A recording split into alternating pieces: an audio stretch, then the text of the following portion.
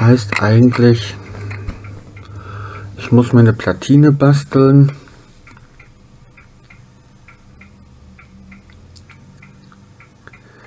die ich da reinpacke.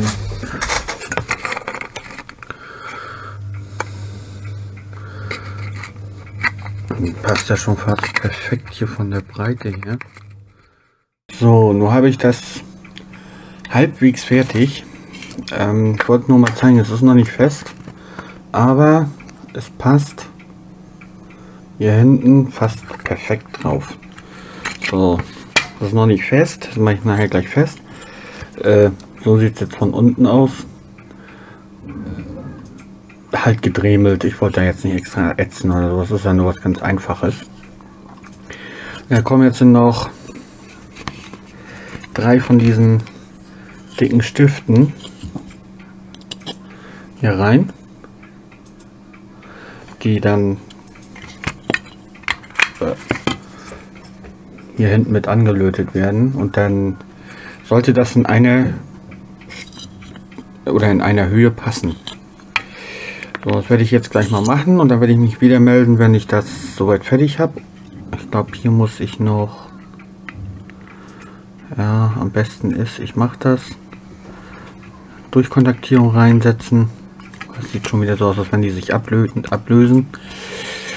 Ja gut, ich mache das jetzt fertig und dann werde ich mich melden und dann machen wir noch den Test mit dem äh, Amiga. Ob das auch wirklich hinhaut. Gut, also sehen wir uns gleich wieder. So, nun ist das Ding hier drin. Sieht von hinten jetzt so aus. Ich habe jetzt keine Durchkontaktierung gemacht. Das geht auch so. Masse ähm, Brauche ich nicht. Was ist jetzt hier mit plus 12 Volt? Da sitzt jetzt noch eine, glaube ich, drauf.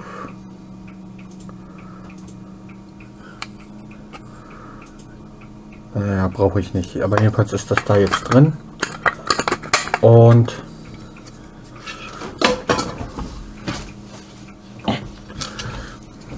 mache ich mal den Deckel drauf. Müsste passen, müsste gehen.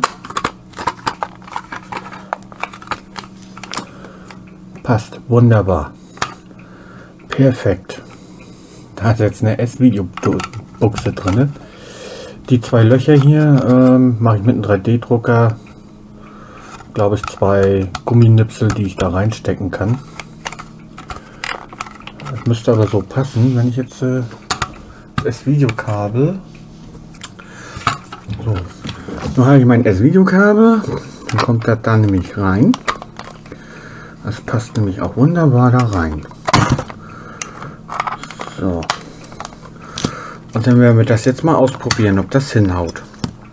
Ähm, ich probiere es erstmal für mich selber aus. Ergebnis zeige ich euch dann auf dem PC wenn das hinhaut, wie gesagt, ich bin dann ja noch bei am gucken ja, mit den Transistoren, wenn ich die tauschen muss. Ansonsten noch mal das IC ausprobieren. Gut, also wir sehen uns dann gleich mal auf dem PC wieder, wenn ich dann soweit ausprobiert habe. Dann weiß ich auch schon, ob funktioniert, nicht funktioniert und so weiter. Nun melde ich mich gleich wieder. So, nun sehen wir hier erstmal No Signal. Jetzt mache ich den Amiga an. Sollte auch den Modulator richtig reinstecken, aber man sieht schon, ähm, das Bild ist schon mal eine ganze Ecke schärfer. Es geht noch besser. Da gibt es noch andere Möglichkeiten, aber für meine Möglichkeiten ist das jetzt äh, erstmal äh, die beste Möglichkeit, die ich machen kann. Mal noch eine Diskette rein.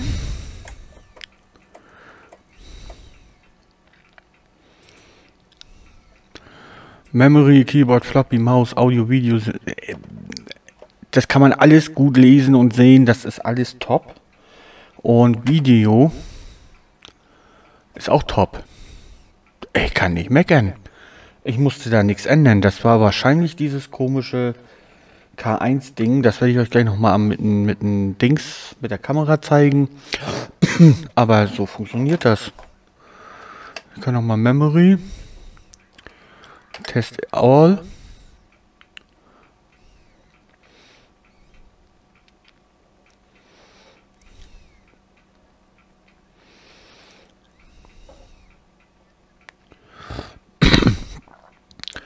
Hat er auch gemacht. habe ich das jetzt gerade mal in der... Ja, habe ich gerade mal... Äh, ja, mach das. Machst du das Info.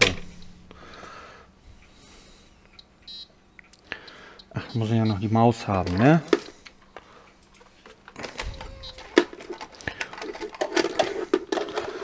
mit Tastatur wird das schlecht. Aber es ist Info, also ich kann das alles wunderbar lesen. Das war vorher nicht der Fall. Die Maus. Ist Info. Äh, Memory. Fast Memory. Slow RAM Public. Nächste Chip RAM. Chip Memory. Ja, sagt Fast Memory. Boards. Hat er nicht.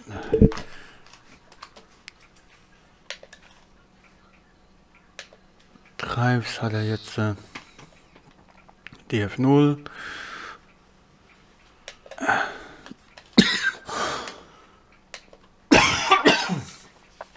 Und Speed.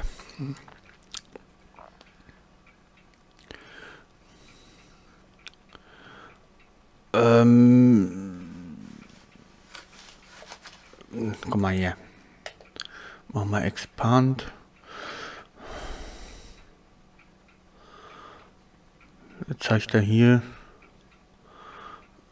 fast so an wie ein A600. Normalerweise müsste ich da liegen.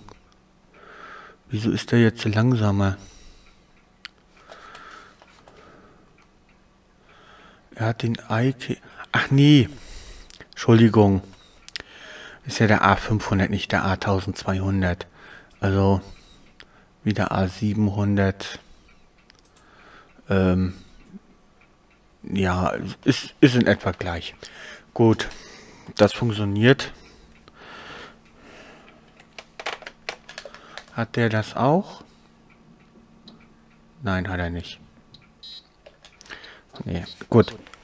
Nee, ich zeige euch jetzt noch mal kurz auf ein auf äh, Bild äh, auf der Kamera, wo meine Vermutung ist, was der Fehler ist an diesem RF-Modulator, warum der so wenig Blau hatte. Gut, dann sehen wir uns gleich wieder. So, ihr habt ja jetzt gesehen, der hier mit S-Video funktioniert einwandfrei. Tipptopp.